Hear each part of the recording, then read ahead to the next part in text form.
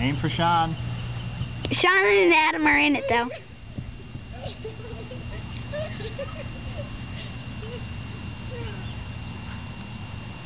That looks a little painful now.